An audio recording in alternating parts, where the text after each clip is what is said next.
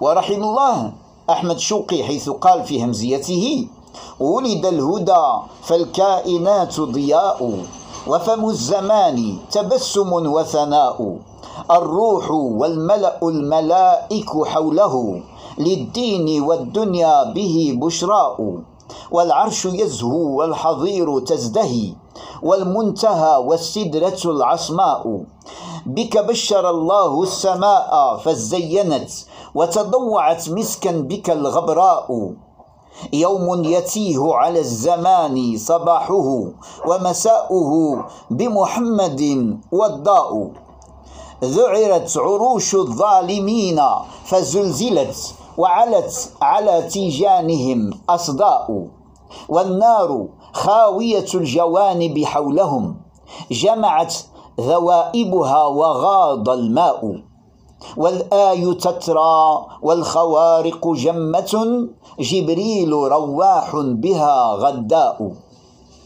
ومن الآيات والعجائب التي وقعت بين يدي ولادة سيد الخلق صلى الله عليه وسلم أولا ارتجاس إيوان كسرى ارتعاده كالزلزال.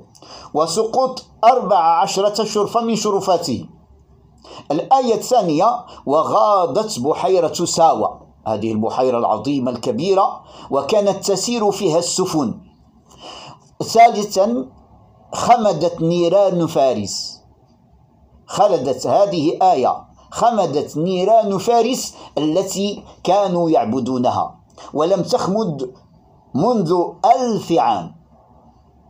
فاللهم صل على سيدنا محمد صلاة وتسليما دائمين أبدا إلى يوم الدين رغم أنوف الحاقدين والحاسدين ولعن من أرادوا تشويه شخصيته العظيمة والمس بشخصه الكريم وهذا ديدن اليهود والنصارى الصليبيين والمجوس من زمان فلم يتغير سوى الأسلوب أما الحقد على دين الإسلام وعلى رسوله الكريم وعلى المسلمين فهو هو.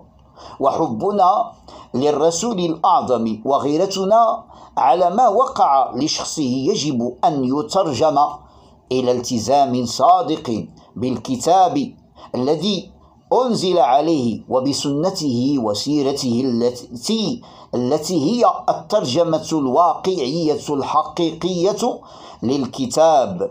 فاللهم ثبت قلوبنا على دينك ووفقنا لما فيه رضاك اللهم اهدنا فيمن هديت وعافنا فيمن عافيت وتولنا فيمن توليت. سبحان ربك رب العزة عما يصفون وسلام على المرسلين والحمد لك يا ربنا. يا رب العالمين.